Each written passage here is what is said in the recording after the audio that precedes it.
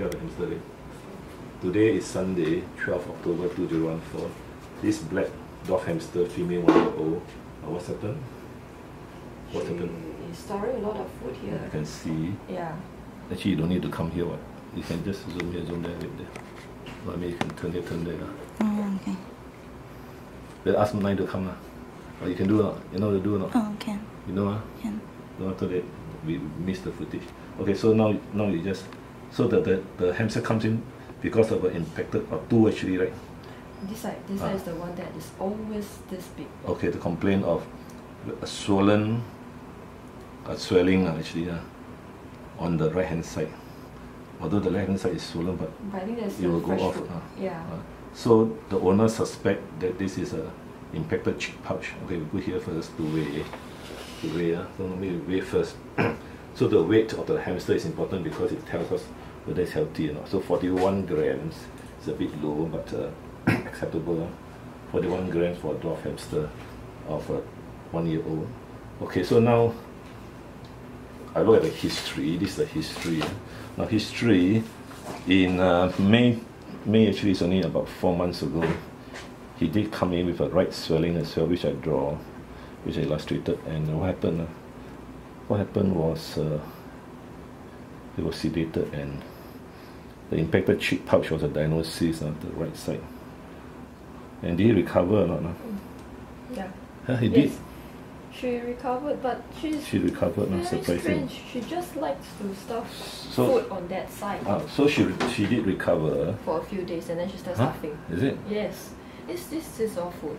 Oh, so she did she did recover Yeah. only a few days only. ah? Then she'll start stuffing. After that, if she's happy, after a few weeks later, she might push it out. But this time round, she has been storing it there for more than the normal duration that I've seen her doing that. How long was that?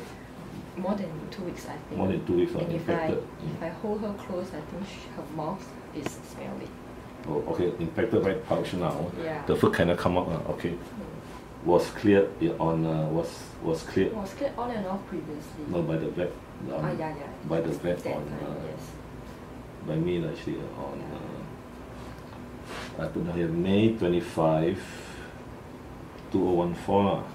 But after that, I think uh, there was antibiotics given, right? Yeah. So I guess that time there was infection, and uh, antibiotics was given, and then the cat, I mean the hamster recovers lah. That time was it smelly? No.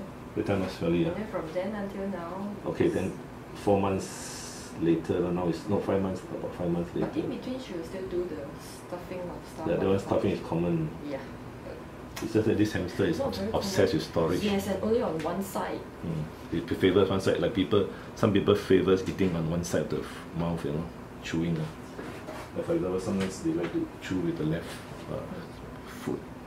So now the thing is, most likely there is an inflammation inside, uh. so the hamster, that, that, there's a smell. Uh. That's why she Mm. said there's a smell, and so now we have to dislodge the, the pouch again and clean it up. And uh, now the other possibility is to remove the cheek pouch.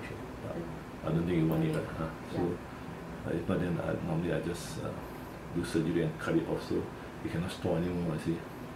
Because storing of the food in the cheek pouch actually is not necessary for the dom- domestic hamsters in Singapore because the owners always overfeed them actually. yeah. Mm. They always have a lot of food. They, they they're never starved, right? Mm.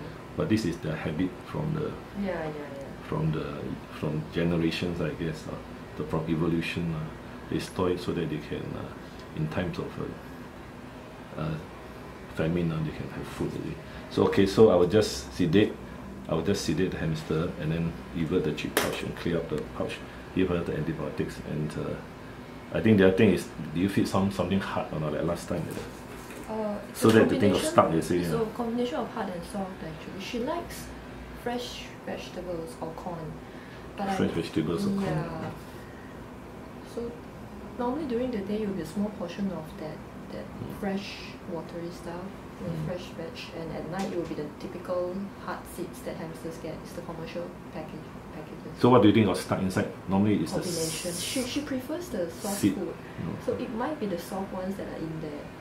deep in, uh, Yeah. no, smelly pouch, no. So that, that is possible, but uh, the impact we call it the impacted cheek pouch. Uh, that's the diagnosis. Impacted cheek pouch. Now the horse also has this problem. The horse, of course, is the intestine. Uh. Horse they got this uh, intestine called impacted colic, but this is nothing to do with the horse. But, this uh, hamster is quite common, impacted cheek pouch. uh. So normally there's a seed or something stuck inside, so the whole thing cannot. The hamster cannot dislodge it at uh, free on the free or inflammation. Uh. Sometimes surprisingly, Hmm?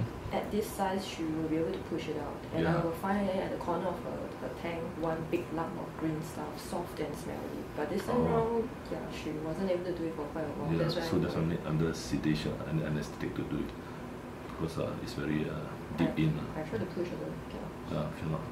But the left side can, right? Left side is okay. Left side Left side she will do it herself. Yeah, yeah. So uh, if you can, uh, I just have a picture of it there. Just click there. Can it do it? Just click. So so you want to wait a while, but it takes about half an yeah. hour, you know. Okay, okay, let's stop.